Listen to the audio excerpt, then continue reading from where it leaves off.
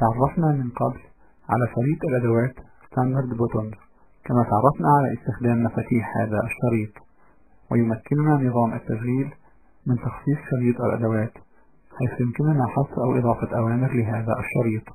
فإذا أردنا على سبيل المثال إضافة الأوامر copy وcut وبيست وdelete كمفاتيح داخل الشريط Standard Buttons نفتح القائمة المنسدلة View ونختار Customize من القائمة الفرعية Toolbars فيظهر المربع الحواري Customize Toolbar. ويظهر في الجزء Available Toolbar Buttons مجموعة الأوامر التي يمكن إضافتها إلى الشريط. وفي الجزء Current Toolbar Buttons تظهر مجموعة الأوامر الموجودة داخل الشريط حاليا.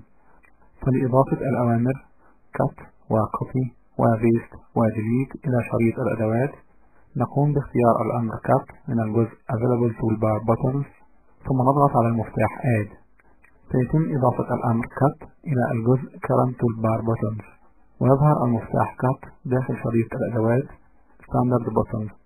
ثم نقوم بإضافة المفاتيح Copy و paste و delete بنفس الطريقة. كما يمكن إضافة فاصل separator للفصل بين الأوامر داخل الشريط. ولإضافة فاصل أوامر داخل الشريط نختار separator من هذا الجزء. ثم نضغط على المفتاح Add.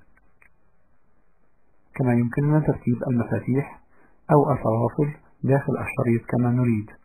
فإذا أردنا تحريك هذا الفاصل إلى الموضع قبل المفتاح cut مباشرة نقوم باختيار separator من الجزء Current Toolbar Buttons ثم نضغط على المفتاح Move Up.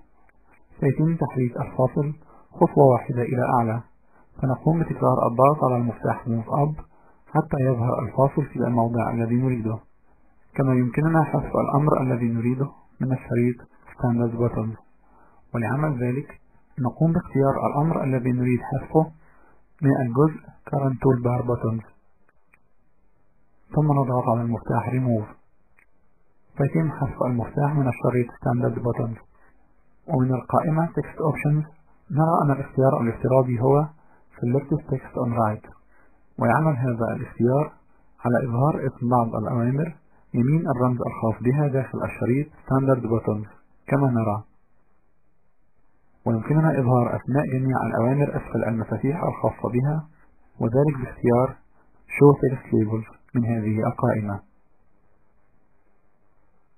كما يمكننا عدم إظهار أسماء الأوامر باختيار No Text Labels.